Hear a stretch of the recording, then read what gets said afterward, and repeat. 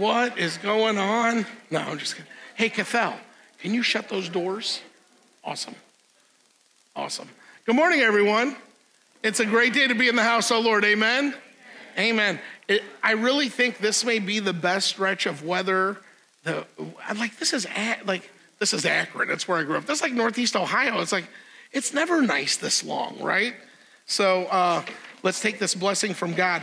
Couple of quick announcements. So today during the prayer time, we're going to announce our graduates. We have three of them here today, so we'll be doing a little recognition for them here shortly.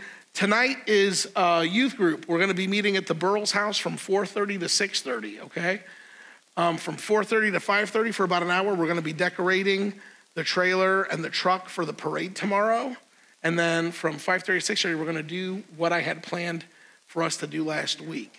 Okay, so uh, be there tonight if you can make it. Tomorrow is the Memorial Day parade. So what do you need to know? Memorial Day parade. We would love to see all of you marching with us. We're going to line up and asking everyone to be there about 9:15, 9:30 over there off of Loretta Drive at Neomed. Just ask some of the Lions people that are wearing red vests where the Fairhaven float is, and they will point you to the number of where we're at, okay? We're gonna have two pickup trucks and a trailer, so if you wanna ride, there should be plenty of room to ride. We're gonna need a few people walking too. I'll be walking. It's hard to get a selfie with anyone when you're on the trailer, so uh, we'll be walking, handing out flyers, handing out Bibles, doing stuff like that. We have things to throw out. Um, wear your church merch, okay? If you don't have church merch, just wear red, white, and blue, or you know, wear some Rootstown Rover gear, anything like that, right? It's a Rootstown parade. It's a short parade.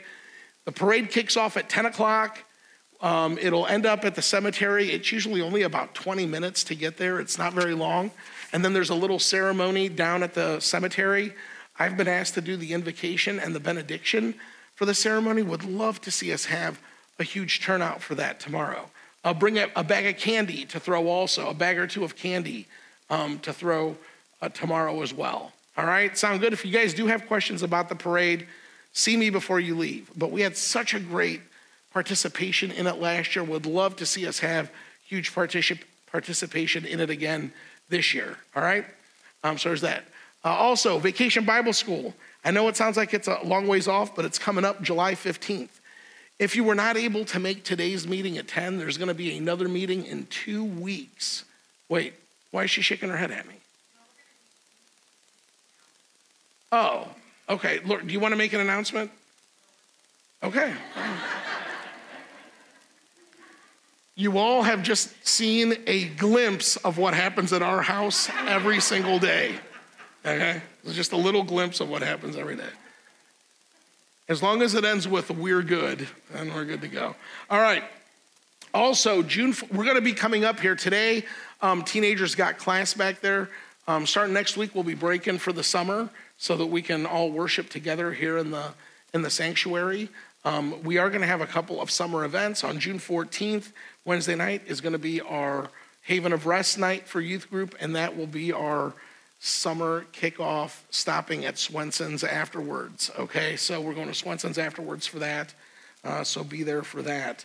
Um, everything else, just look, we did set a date of August 14th for Baptism Sunday.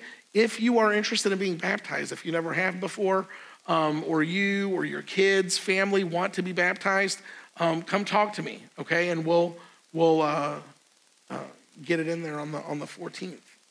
All right. Brothers and sisters, I think that's it. For, oh, and this is the last week, Linda. This is the last week for Ravens Packs. So this week, if you've got some microwave popcorn, um, let us know because then that goes silent over the summer, right? Is that okay? So microwave popcorn this week. Let us know. We'll figure out how to get it to Linda, and then we'll pick this up again in the fall. Oh, and signups for teardown and setup. So yesterday, so signups are out there.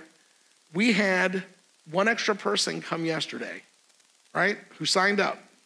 I'm just telling you this so you know. We started setting up at 9:05 and we were done at 9:27, right? You get a couple of extra hands here. It's a great ministry and a great, great way to serve. Um, today, actually, we're going to be talking about some of the stuff that happens behind the scenes and how that feeds the life of the church. So sign up for that back there. See John back there. We really want to put together a nice team of folks that know how to set up uh, the church. All right? I think that's it now as far as assignments go or announcements go. So, with that, brothers and sisters, it is a great day to be in the house of the Lord. Why don't you stand with me as we open up our worship service this week?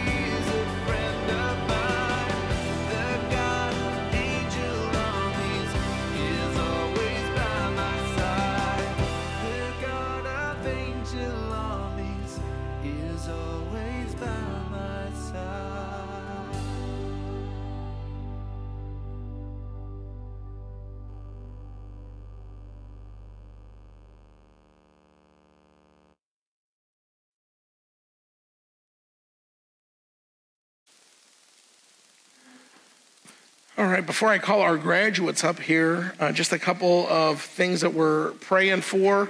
Um, the Bennett family is all doing better, but continue to pray for them.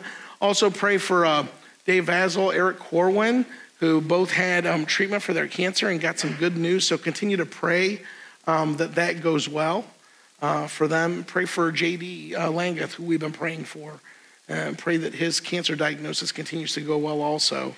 Also, uh, keep the McLaughlin family in your prayers. A lot of you uh, know uh, Sean Matthew McLaughlin, who I believe um, he's Dale's age. I could be wrong. He's like 17 years old.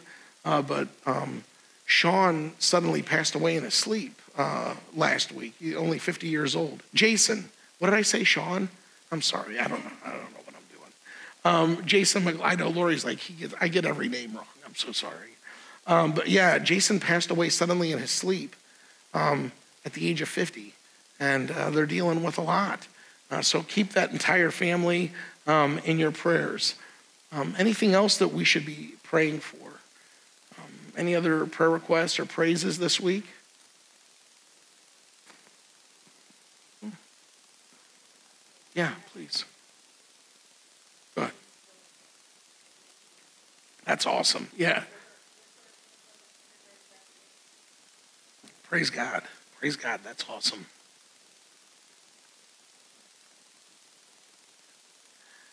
All right. Oh, Linda.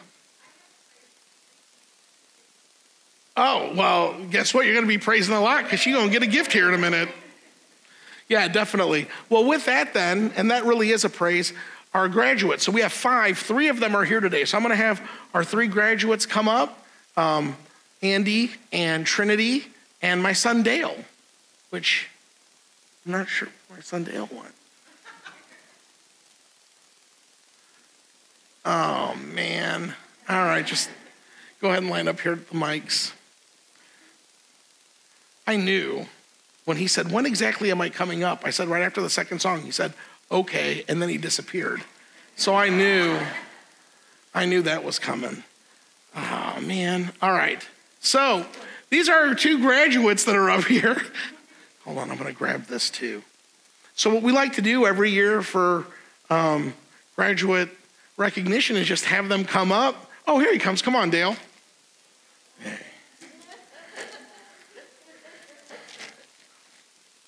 Oh, look, there's three of you and there's three mics. So this works out really good.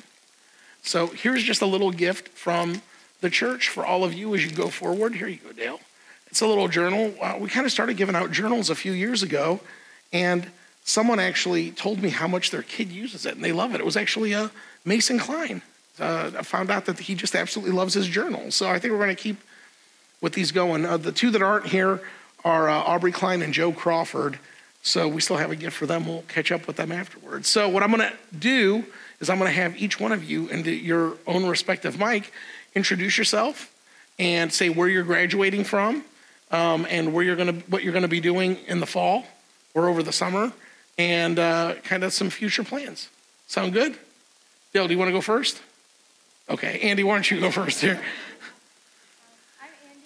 Um, I'm graduating from Rootstown, and I'm going to Kent State for early childhood education.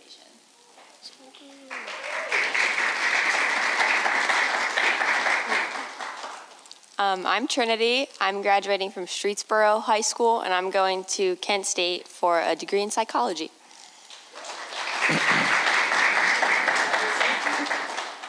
I'm Dale. I'm graduating from uh, West County in Newport, and I'm going to Kent State for admission. Awesome. So we got three future flashes, which is always a good thing coming from a former flash, old flash over here.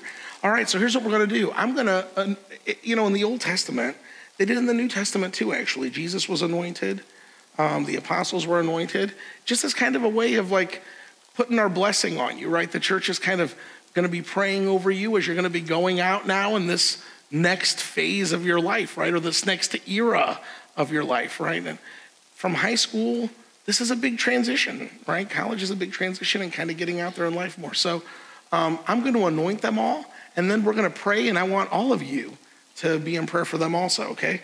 So, Andy, I always call her Little Burl, so you're going to hear that. Little Burl, I anoint you in the name of the Father, and of the Son, and of the Holy Spirit. Amen. Trinity, I anoint you in the name of the Father, and of the Son, and of the Holy Spirit. Amen. And Dale, I anoint you in the name of the Father, and of the Son, and of the Holy Spirit. Amen. Brothers and sisters, why don't you help me pray for these students? And actually, I don't know, mom, mom, dads, if you guys want to come up and put your hands on and pray with them too, you're more than welcome to. You know, grandma, grandpa, if you guys want to come up, or if you're taking pictures, you can do that too. But this is a big deal. Siblings, Lucy, if you want to come up, that's all right. All right. All right. Yeah, it's okay if you cry. Go ahead. Come on. All right, let's bow our heads and pray. This is just a, a little representation of how much we love our kids, right? Let's pray. Um, Heavenly Father, I, I pray that you would bless and be with these students that are here, the, these young men and women that are going to be taking the next step in their life. Lord, we pray for Andy. We pray for Trinity. We pray for Dale. Lord, watch their footsteps, guide them, and keep them safe from harm. Lord, fill their minds with the wisdom that only you can give. Lord, fill their hearts with the Holy Spirit, that they may be compassionate, kind, loving, and wise, Lord. Lord, we pray that they shine like stars in the dark universe that's out there, that they're a light and that they can be a hope pointing people towards you with everything that they do. Lord, in those times when they have questions and don't know what they're doing, may they seek you. May they stay close to you.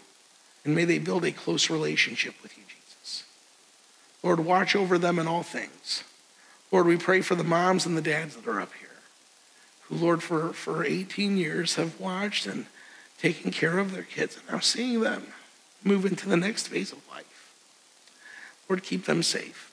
Let them know that this church community loves them. Let them know that this church community is their home. Let them know that they can always come back and find rest and find peace and find strength. Jesus, we love these children very much, and you love them even more than we do. So bless them in all things. And we ask for this in your precious name. Amen. Amen. All right, now graduates, stay up here because you're helping me.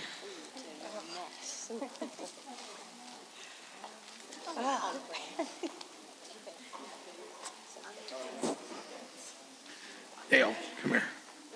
Yes. All right. Dale, you take this, and you two take this and stay on that side. Where's our Leia? Leia, come here. Dale, you and our Leia do this. Or, here, since your family's on this side, Dale, you do this side with our Leia and Trinity. All right, let's bow our heads up. Of course. Yes, absolutely. Absolutely. Awesome. All right, let's pray for our gifts. Um, Heavenly Father, we thank you for this day. Lord, we pray that you would bless and be with the gifts that we're going to receive.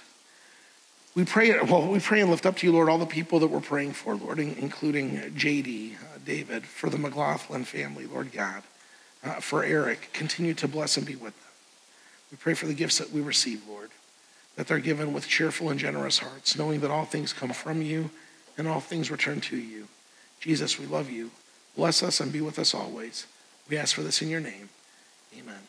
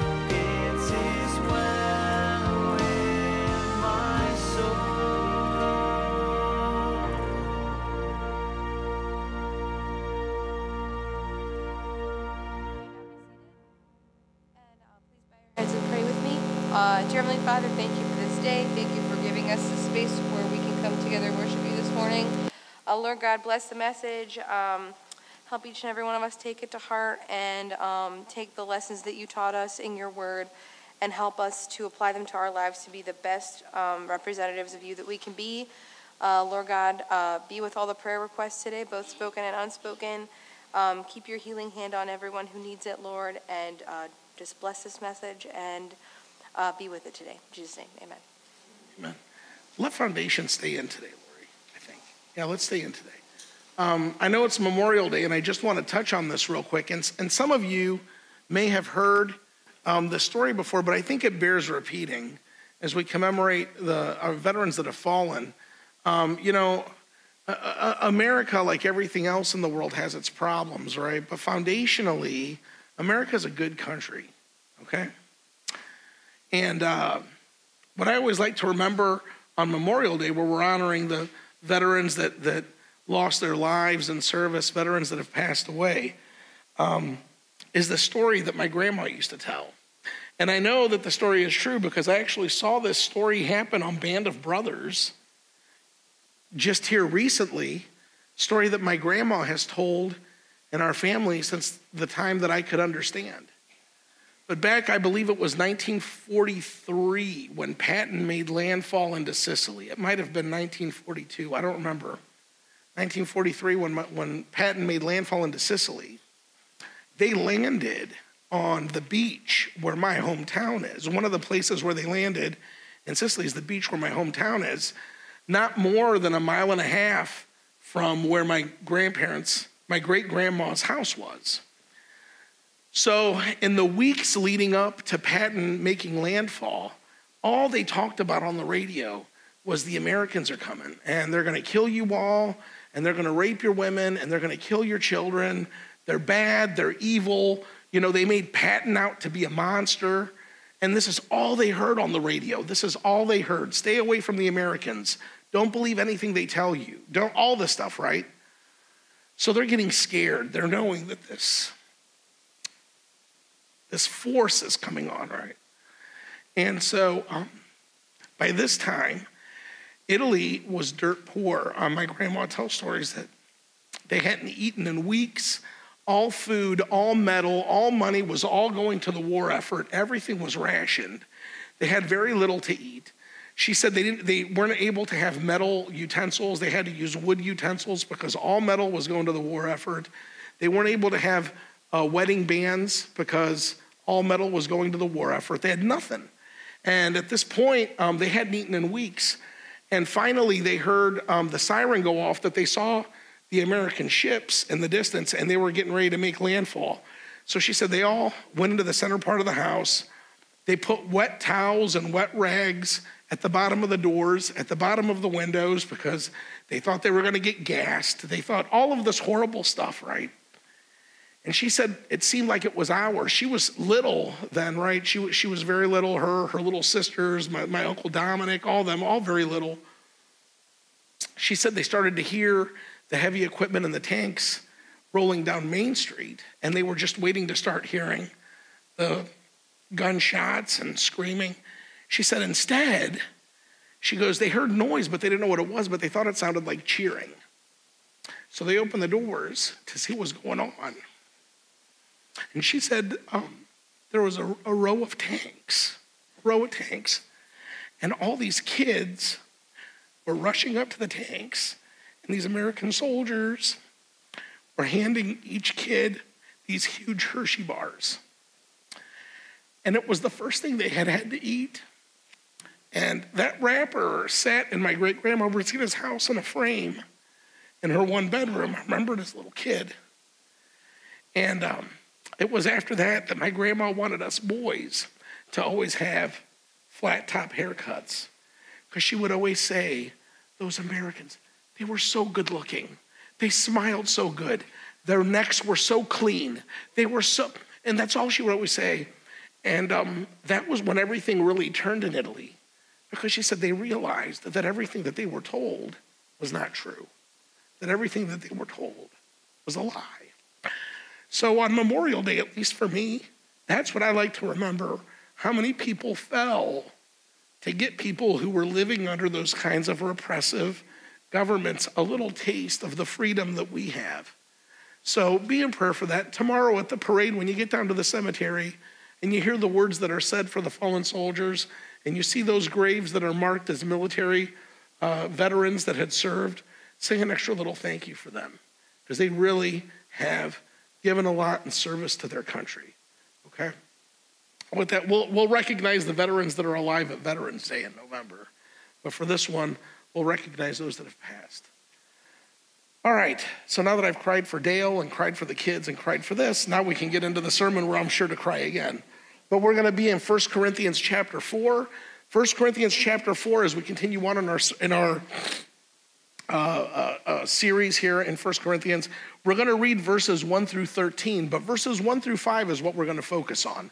So 1 Corinthians chapter 4, 1 through 13, but we're really going to focus on verses 1 through 5. And today we're going to be talking about authority, accountability, and appraisal, which if any of you work anywhere and you do like a year-end review, this sounds like the beginning of your year-end review. But that's not really what this is about, and I think you'll soon see what we're talking about here with authority, accountability, and appraisal. So if you got your Bibles open, want to follow along, 1 Corinthians chapter 4, starting at verse 1. This then is how you ought to regard us as servants of Christ and as those entrusted with the mysteries of God, with the mysteries God has revealed. Now it is required that those who have been given a trust must prove faithful. I care very little if I am judged by you or by any human court. Indeed, I do not even judge myself. For my conscience is clear, but that does not make me innocent. It is the Lord who judges me. Therefore, judge nothing before the appointed time. Wait until the Lord comes. He will bring to light what is hidden in darkness and will expose the motives of the heart. At that time, each will receive their praise from God. Now, brothers and sisters, I have applied these things to myself and Apollos for your benefit, so that you may learn from us the meaning of the saying, Do not go beyond what is written. Then you will not be puffed up in being a follower of one of us against the other. For who else makes you different from anyone else? What do you have that you did not receive? And if you did receive it, why do you boast as though you did not? Already you have all you want. Already you have become rich. You have begun to reign, and that without us. How I wish that you really had begun to reign so that you also so that we also might reign with you. For it seems to me that God has put us apostles on display at the end of the procession, like those condemned to die in the arena. We have been made a spectacle to the whole universe, to angels as well as to human beings. We are fools for Christ, but you are so wise in Christ. We are weak, but you are so strong. We are honored, you are honored, but we are dishonored. To this very hour, we go hungry and thirsty. We are in rags. We are brutally treated. We are homeless. We work hard with our own hands. When we are cursed, we bless. When we are persecuted, we endure it. When we are slandered, we answer kindly. We have become the scum of the earth, the garbage of the world, right up to this moment. Let's bow our heads and pray. Heavenly Father, we thank you for your word. Lord, be with us this day and fill this place with the Holy Spirit. Fill our hearts with the Holy Spirit to make us tender to the leading of your word. Fill our minds and our ears with the Holy Spirit to make us attentive to your word, that we may learn your word, that we may love your word, and that we may live your word. And we ask for this in the name of Christ Jesus, our Savior. Amen. So understand when you read some of that word, those words that Paul is writing, that's rough, right?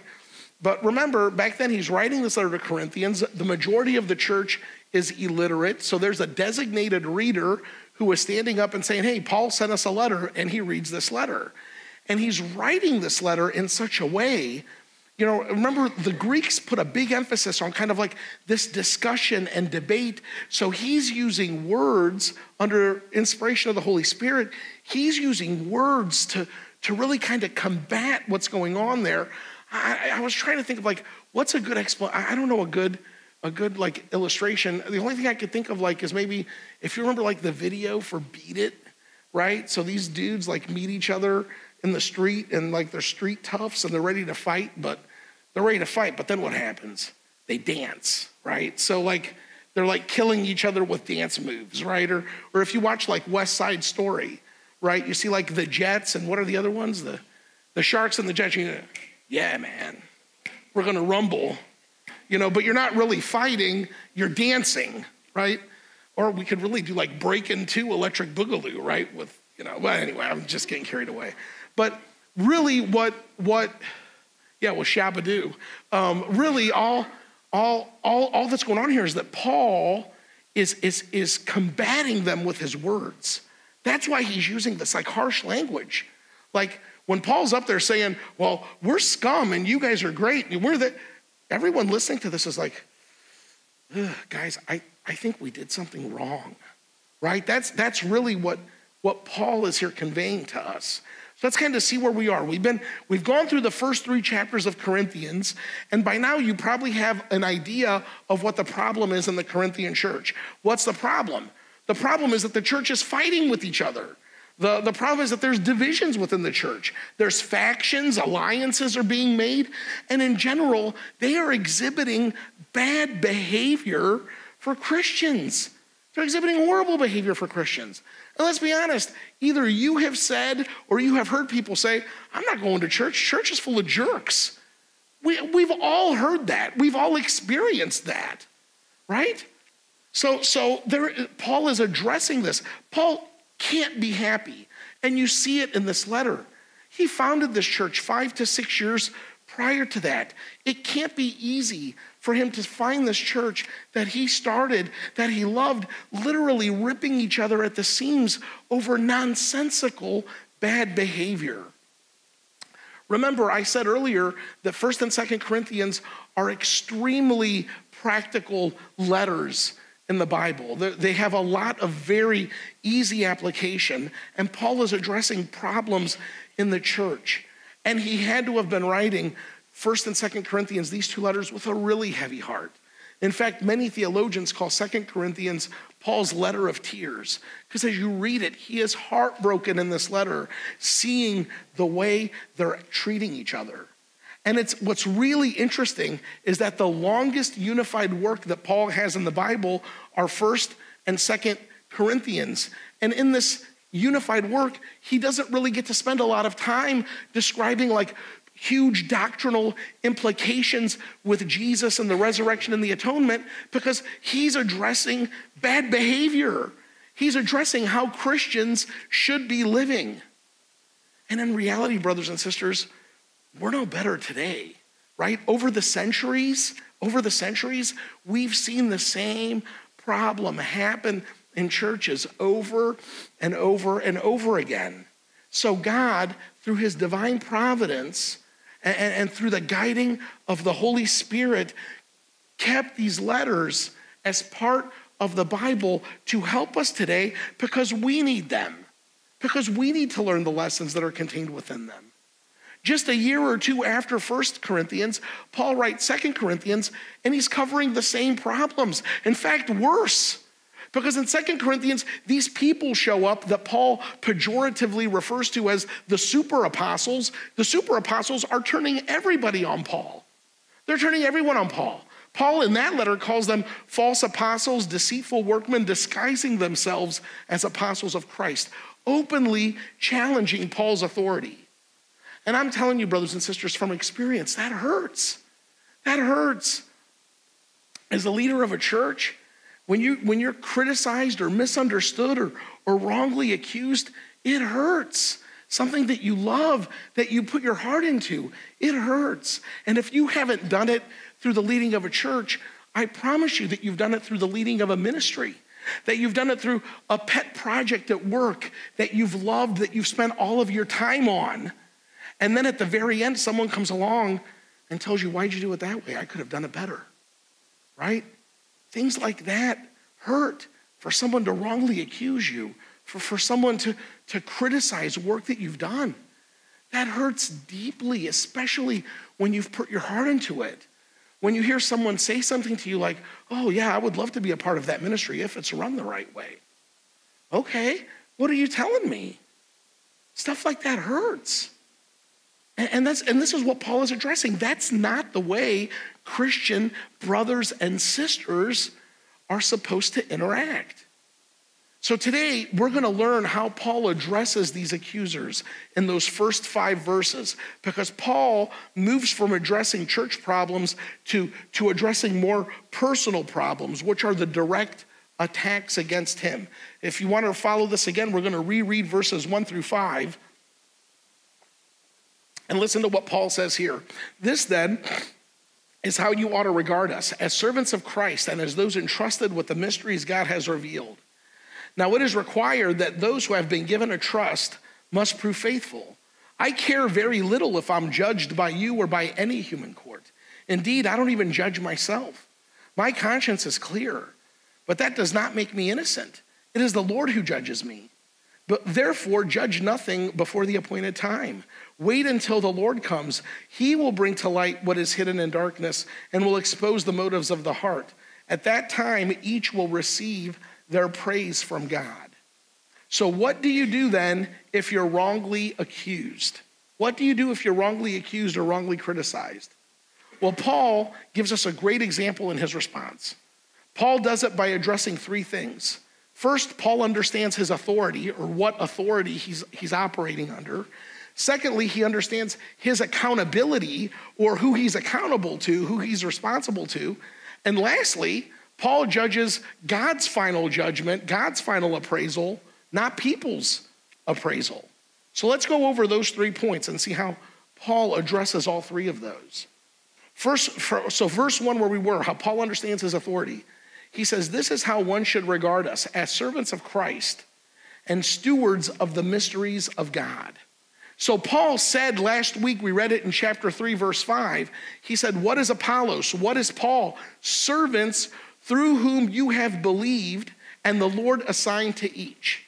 Now, this is what's really interesting here, and this is why sometimes reading scripture in English, we lose a little bit. We have to do a little bit of deep diving into it because we lose a little bit of the nuance of what's being said. In chapter 3, when Paul said, um, What is Apollos? What is Paul? Servants through whom you have believed. The word that he used there is the, the Greek word doulos, okay? Doulos, if you've been in any Bible studies or been around church for a long time, is a word we hear quite commonly used in the Bible.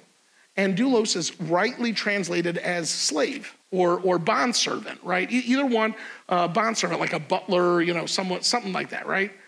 That's a doulos. However, in the first verse of chapter four of what we read, when Paul says we should be regarded as servants of Christ, he should be regarded as a servant of Christ, he doesn't use the word doulos for servant. He uses the Greek word hyperetes. Hyperetes. Now, this is interesting.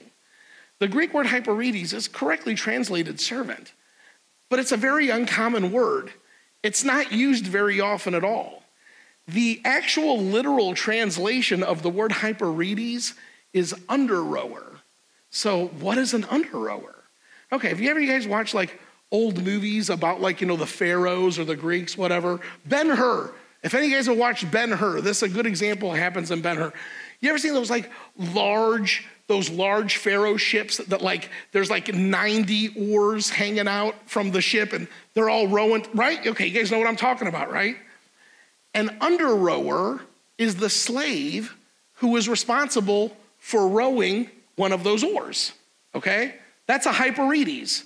Hyperetes is an under rower. No engine back in the day, so the hyperetes, those under rowers, they were the engine of the ship. Hyperetes, unlike a bondservant, had one responsibility, and that responsibility was to start rowing when you're told to row and stop rowing when you're told to stop rowing. That's it.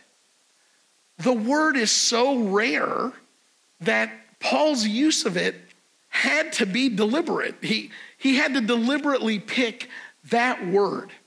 That word. He, in this sentence, is emphasizing the fact that he is a servant of God of such a lowly estate, right? That he takes his order from God and God alone. He is God's under rower. When God tells me to start rowing, I start rowing. And I don't stop rowing until God tells me to stop rowing. Understand Hyperetes, they had no status. They had no status culturally, societally, unlike what all the Corinthians were trying to do in the church. The Corinthians were all puffing themselves up and making themselves out to be great. And Paul is saying, hey, I'm just an under rower. As a servant of God, I'm an under rower, I'm a Hyperetes. So, what Paul is saying, that as an apostle under authority, that's how he is regarded by God, and that is how other followers of God need to be regarded. Whose authority is Paul under? He is under the authority of Christ. He is under the authority of the Master, the one who has called us, the one who has assigned the task. Paul clearly understands where his authority is coming from. He's not just in charge, he is God's hyperetes, he is God's under rower. Paul adds another term there that he says he's stewards of the mysteries of God. Now, that phrase, the mysteries of God, is commonly used by Paul. If you remember back a few weeks ago, we did a one week uh, sermon on, uh, the gospel, on the letter of Ephesians, where there the mysteries of God was referring to the church, the, the, the gathering, the ecclesia, right? This, this thing that was hidden in the past. The mystery of the revelation of Christ and the gospel with which we are entrusted with is what Paul is saying that he's a steward of. He received the call to apostleship. He received the responsibility to preach directly from the resurrected Christ himself in a miraculous encounter. And if the house stewards in a house with bond servants, if a house steward is responsible for handling the resources of, acquire, of acquiring food for the household, then the steward of God's mystery is responsible for the dispensation of God's truth, of, of God's word. The mysteries of God, they didn't originate with Paul, they didn't originate with the church, but he's entrusted with it and called to teach it and preach it as it is given to him by his master, by Jesus. In verse 2, he says, Moreover, it is required of stewards that they be found faithful. What does that mean? Because the, the faithfulness of being a good steward isn't just to be faithful to the task, but the stewards have to be faithful to the truth of God's word. So they shouldn't just be saying, Oh, well, what's a good example of this? You ever go somewhere, you ask someone for something? I know that this is like an, an overplayed trope, but you ever go someplace, yeah, hey, where are the bathrooms? I don't know, I only work here, right? We, we hear this all the time, right? This kind of like, I don't know, I just, I'm, I, but what if someone tells you something that's wrong, right? What Paul is saying here that, that a steward isn't just faithful to accomplish the task, he also needs to be faithful that the task is true, right? It, it, you're not doing any good if you're accomplishing a task that's wrong. You need to be faithful to the task and to the message. Paul's been preaching and teaching the Word of God, the good news of Jesus Christ. And a good steward doesn't speak their own words, but obeys the words of the master and proclaims the truth that's been given to him. This is the authority that Paul comes under, and Apollos and Peter and everyone else that the Corinthian church is picking signs from. And this comes through an assignment from God, the master, as the head of the ultimate head of the church. And that brings us to our second point. If that's where Paul's getting his authority, where is Paul accountable? What is his accountability? In verse 3, Paul says, But with me, it is a very small thing that I should be judged by you or by any human court. In fact, I don't even judge myself. For I am not aware of anything against myself, but I am not thereby acquitted. It is the Lord who judges me. That is actually a very important verse. Paul isn't saying, I don't care what you think. What Paul is saying is, what you think is really insignificant. That's really what it is. It's insignificant what you think. He's putting all of the criticism that he's receiving, he's putting all of that into perspective of the larger court of Jesus. Because the reality is, regardless of what people say, regardless of what's going on in the court of, of popular opinion, the final verdict isn't reached until Jesus provides the final verdict.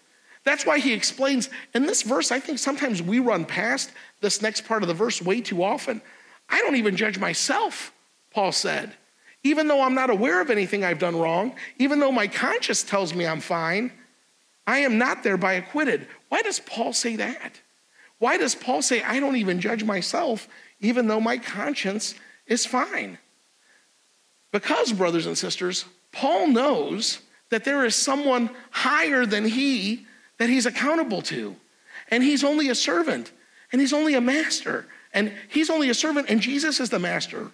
Paul also knows that human judgments and, assessment, and assessments, including our conscience, can be wrong.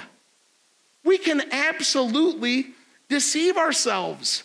We can absolutely say that something isn't a sin because we like to do it. That's how it works. You know why? Because we're sinful. And do you know what sin likes? Sin likes more sin, not less. Not less. So we can absolutely deceive ourselves. And, uh, well, this can't be sinful. Why? Because it feels natural. And why would God make me feel natural about something if it's sinful? I'll give you a great example. And I, and I have to do a confession because today I did something sneaky. Yes. Every Sunday morning, we get donuts from Linda Berlin. And every Sunday morning, there's this really good looking lemon donut that I always say, I'm going to get that donut after church, after early service. And doggone if someone doesn't get that donut every week. So this week, I took the donut out, I wrapped it up, and I hid it in that cupboard back there. I did. I totally did. And you know what? My conscience was fine doing that.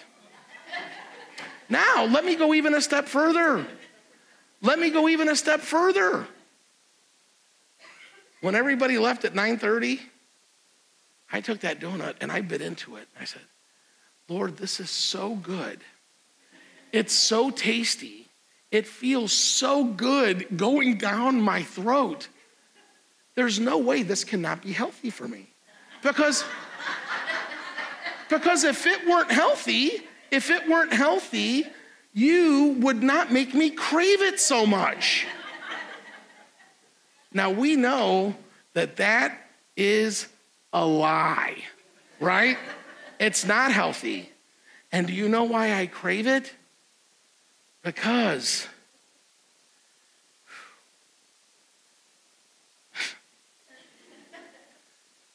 fat craves fat. I can't take it. I can't take it. That's what I crave. Sin craves sin. There's an old saying in Italian that my dad used to use all the time. He would say, Pigs dream of the slop bucket. That's what it is. Fat craves fat, sin craves.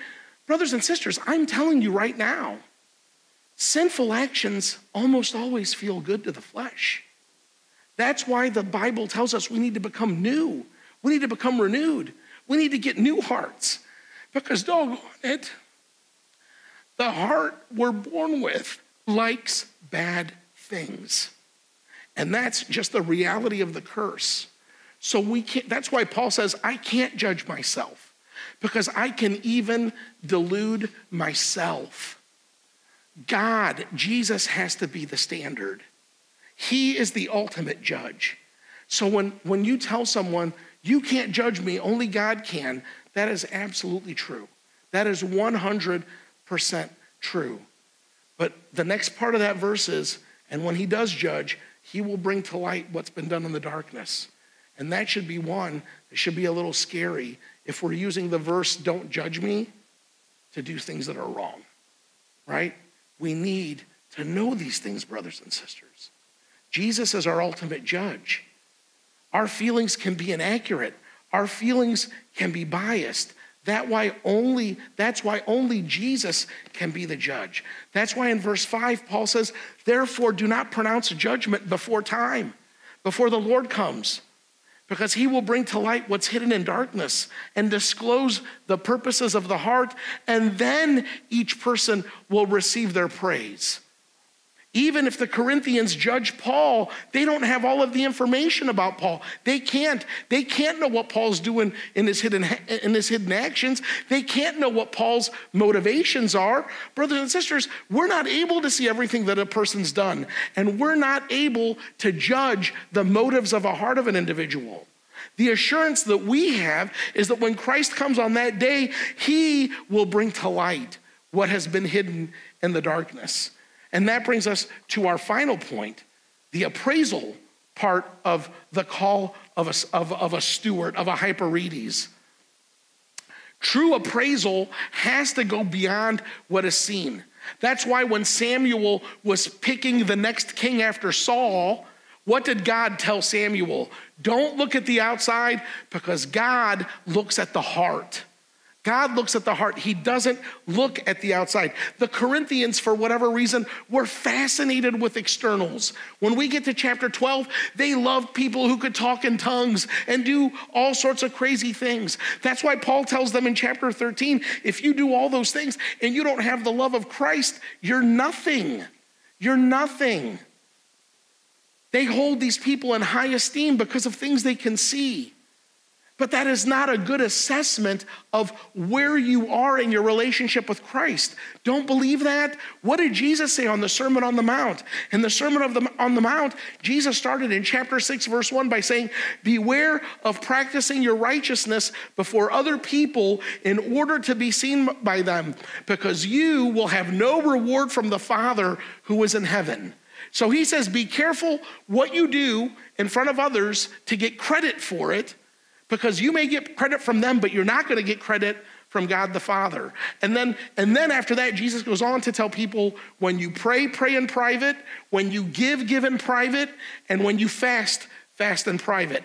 And your Father, who knows all things, will reward what you have done in secret. But those are things we can't see, so we think we can't judge. There's also, those are the positive things we do in secret. There's negative things we can do in secret too. Because Jesus goes on to say in Matthew 5 27, you've heard it said, you shall not commit adultery. But anyone who looks at a woman with lustful intent, and that applies the other way too for women that look at men. Anyone who looks at a woman with lustful intent has already committed adultery in their hearts.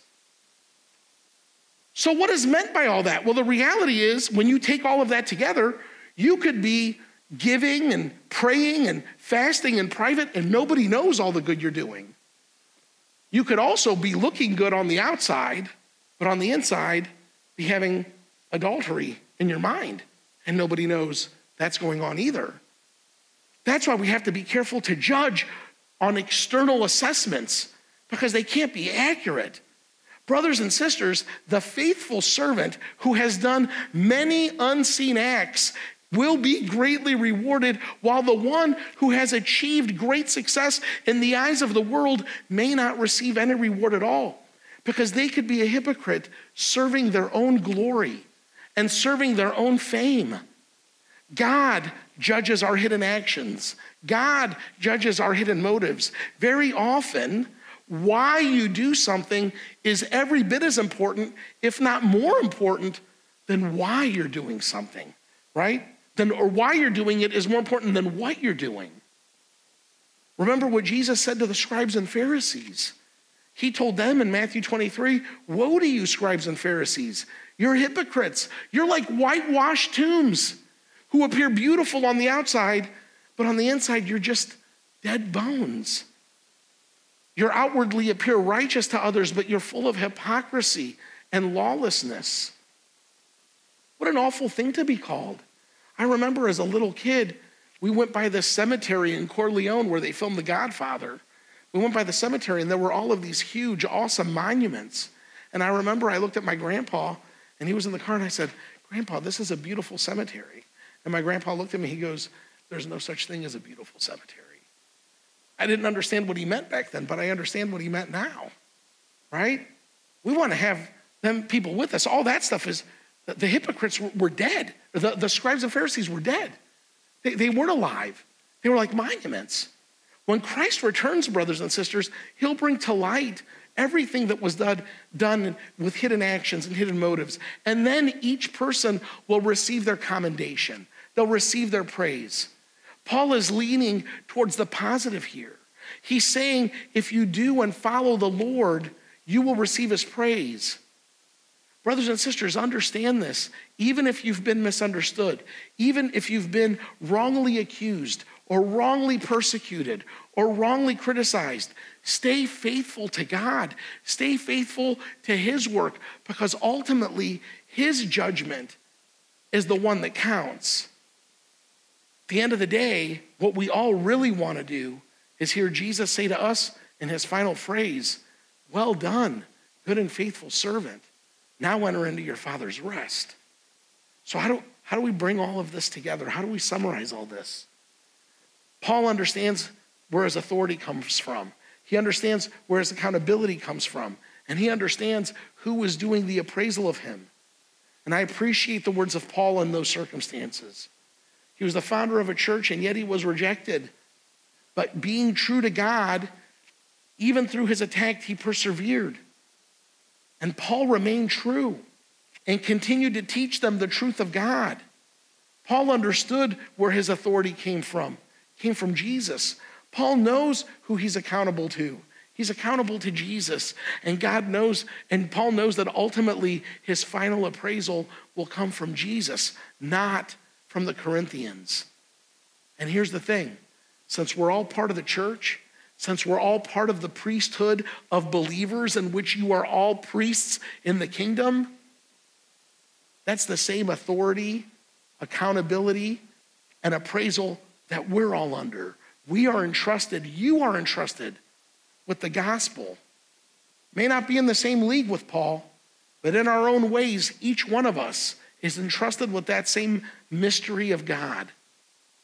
Don't be discouraged by any difficulties that you face, brothers and sisters. We know who we serve, we know whose authority we're under, and we know who we're answerable to. And we will persevere because Jesus has promised to never leave us, and He has promised to never forsake us. Fulfill the will of God, take delight in what He sees, and go on. Amen? And listen, you may make a mistake, and that's okay. Think about it this way I've coached girls softball for so many years, and I love it, right? Absolutely love it. If there's a girl on first, I, co- I coached baseball too, but girls longer. If there's a girl on first base and the coach gives the steal sign, and the girl, as soon as the pitcher pitches, you're running, and that girl gets thrown out, whose fault is that out? Emily? It's the coach's fault, right? The accountability doesn't fall on the player. Actually, that player should get high fives. Why? Because that player did what she was asked to do, right? Brothers and sisters, when we go out and we serve, we're going to fall on our face. We're going to get called out. But if we're doing it for God, if we're doing it with the right motive, you give the results to Jesus. And you just fulfill what he's asking you to do. We need to be under rowers, hyperetes. Let's bow our heads and pray. Heavenly Father, we love you, and this is a hard message, Lord.